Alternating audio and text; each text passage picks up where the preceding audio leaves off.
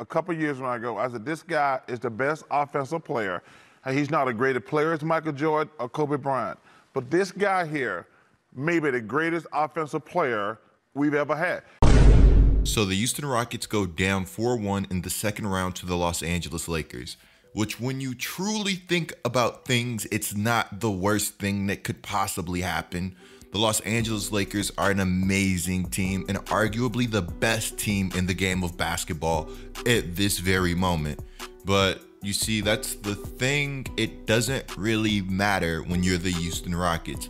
This is a team that has been all in for as long as I can remember. When you're all in, if you're not first or second or third, pretty much if you're not even playing in the conference finals, it's like you're basically last.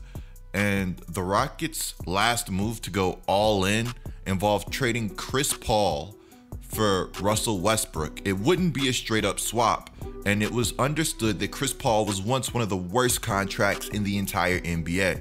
Not only did the Rockets trade Chris Paul, they traded draft picks. So now the Houston Rockets have Russell Westbrook, James Harden, a bunch of decent players, and no future. But hey, maybe the time to panic hasn't come just yet.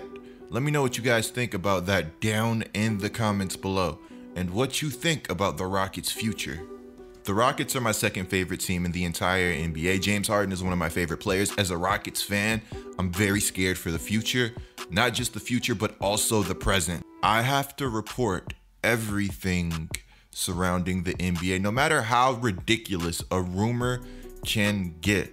And I think this is going to be fun, if nothing else. So if you guys could do me a major favor right now and go ahead and drop a thumbs up on this video, it tells the YouTube algorithm you guys enjoy my content and it helps me grow. And I appreciate that so much because I'm nothing without you guys supporting my content. Also, if you find yourself getting recommended a lot of my videos or just really enjoy my content, go ahead and subscribe because you will not want to miss another Get Like Coop video. And that's fact. We have a lot to unpack this video. I think if James, I think James Harden could get 80 in a game if he would, if he went out and just said, "I'm just gonna get 80." I want to know right now: Do you guys think James Harden is the best offensive player ever? If not, where do you rank him? As you guys can tell, Charles Barkley is very high on James Harden, and I think rightfully so. You can argue too high, too low. It's entirely up for interpretation, but I have to say, I do think James Harden is one of the best offensive players ever. And I think over the course of his career, he's gotten very disrespected. He's had a lot of good, decent rosters, but I just don't think the necessary amount of help or complementary pieces to really get him to the next level. Obviously, the Rockets' best chance to get to the next level and truly win a championship was when they dropped game seven against the Golden State Warriors. We all know what happened that series the absurd amount of missed threes, the Chris Paul injury, the James Harden and Chris Paul chemistry issues that started to develop over time. This was just such a frustrating duo because Chris Paul, James Harden, all of the talent in the world, two of the best players at their respective positions just weren't able to overcome and take down the Golden State Warriors. Tough. I think James Harden has got a lot of criti criticism for his playstyle, and I do think Kobe was right. I'm not a fan of in terms of winning championships. I don't think that style is ever going to win championships. But at the same time, you have to keep your team's head above water to win games. I don't think the way the Rockets play basketball is something that is going to necessarily net a championship. I agree with Kobe. I thought Chris Paul was a great addition for the Rockets and somebody that was able to take off a lot of pressure from James Harden. But of course, the season Kobe was referencing, he knew James Harden had to do what he had to do to go out and win games, and it was very exciting to watch. As we take things back to 2020, I want you guys to check out this quote from James Harden after they went down 4 1 to the Los Angeles Lakers. Before these last few games, we were number one in defense, you know, so it was the small things like the, the rebounding. You know, we're small, we can't rely on a bigger guy to rebound the basketball for us we have to take on the challenge. As the shot goes up, we find the guy and, and, and out. And we just weren't weren't you know, disciplined enough uh, throughout you know, times like in, in, in games, and that's when the Lakers went on runs.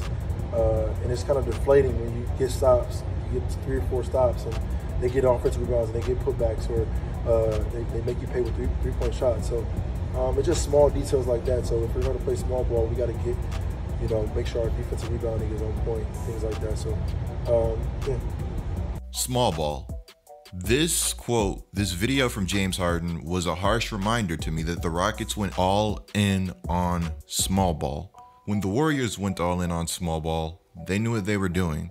It wasn't a desperation move. When the Rockets went all in on small ball, I feel like they thought it was a move that they had to make to get the most out of Russell Westbrook, who so sorely needs spacing because we've seen James Harden with Clint Capela, and we've seen James Harden turn pretty much any big he's played with, even if they're poor offensively, into somewhat of a threat on the offensive side of the basketball, even if it's just for lobs or easy layups. James Harden points out that the Rockets had to rebound better. Well, the truth is, that's pretty tough to do when your tallest player is around 6'8 and your center is 6'5, 6'6. With that being said, I actually think D'Antoni is a very solid coach. I think he gets a lot out of the talent that he's given. But now with D'Antoni out of town, I'm not sure just getting a new coach is going to be enough to turn the corner for this Rockets franchise. The Rockets are a team that has to look at dealing whatever assets they possibly have.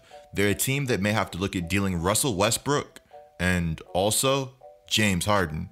Unfortunately, Russell Westbrook might have somewhat of an immovable contract. But hey, we've seen immovable contracts before get moved, right? So maybe there is hope that there may be a suitor for Russell Westbrook. Now, I know Westbrook was returning from injury and clearly not 100%, but that doesn't change the fact that while on the basketball floor, he made poor decision after poor decision. And the same problems that held him back in the regular season, like his jump shot, were still there and a major problem in the postseason. But I'll give it to Westbrook. I thought he did have some solid games. He didn't want any double teams.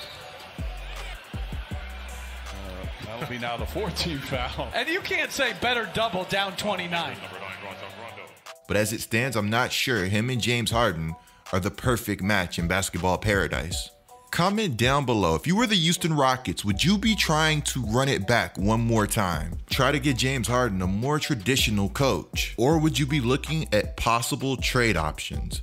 I do think it would be interesting to see James Harden with a Doc Rivers level coach. Speaking of coaching, there have been rumblings that the 76ers are looking at hiring Mike D'Antoni and they believe that D'Antoni could help get James Harden to Philly. Now, last May, D'Antoni said he only wanted to coach about two or three more seasons, which included 2019 to 2020 at the time. So, if James Harden is part of the Philadelphia 76ers plans, waiting until free agency or he's a free agent might not be an option for them. So, if the 76ers want Harden, there's a good chance that there's going to have to be a trade. Which brings us to the topic would the Philadelphia 76ers be looking to trade some of their assets, or would they have to go out? Pro- they probably would have to go out and trade Ben Simmons or Joel Embiid. I've seen a lot of speculation that Ben Simmons is the one who would end up being traded to Houston. Now, immediately what comes to mind is Ben Simmons and Russell Westbrook sounds absolutely disgusting, but I'm sure the Rockets would be able to get off of the Russell Westbrook contract in some way, shape, or form. I'm not sure how, but I just have a weird feeling about these things. Now, Ben Simmons in Houston would also be fun. I just think Simmons is somebody that has the talent to be one of the best players in the league. And I kind of think it would suck if they did trade Ben Simmons to the Rockets and they got D'Antoni because I've always wanted to see Ben Simmons unlocked in a D'Antoni type of system. Now, with that being said, I think Ben Simmons and I think Joel Embiid are kind of opposites of each other, where their games don't necessarily complement each other. And I don't think Joel Embiid necessarily fits into what D'Antoni traditionally has liked to do.